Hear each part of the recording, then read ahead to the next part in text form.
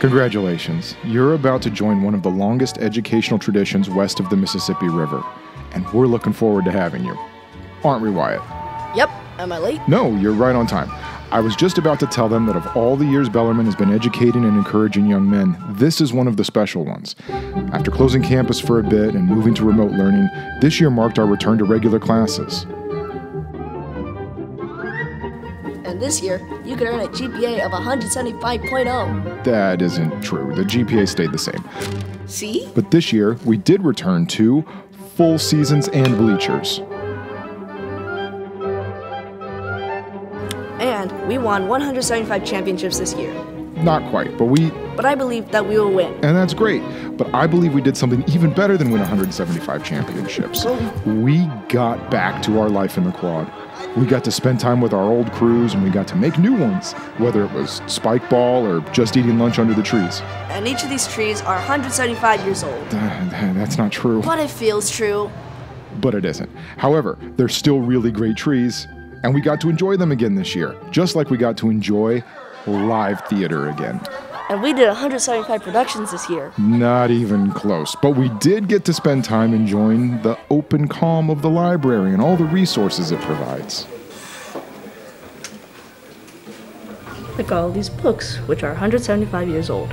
No, They weigh 175 pounds. no, They all have 175 words on their first page. I don't think so. I'm gonna go look for a third book. I can do this.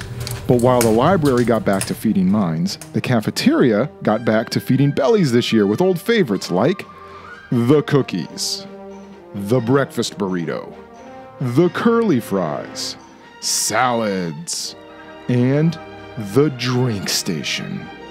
And with 175 drink options. It has around 12. But I've drank it 175 times. And while there are so many other things we could say about why this year was special, we're only going to bring up one more. It's the year you'll be joining us. 175th class. Well, sort of. What? See, we started in 1851. So when you graduate in 2026, that'll be Bellarmine's 175th year. That's so cool.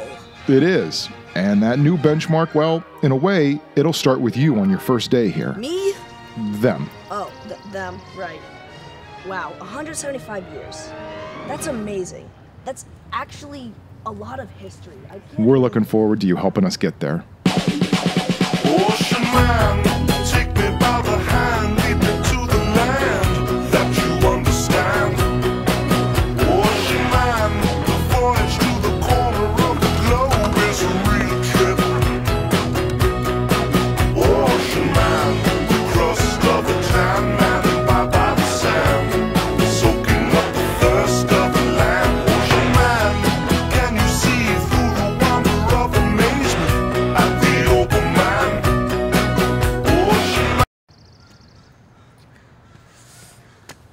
I'm gonna collect these, thank you.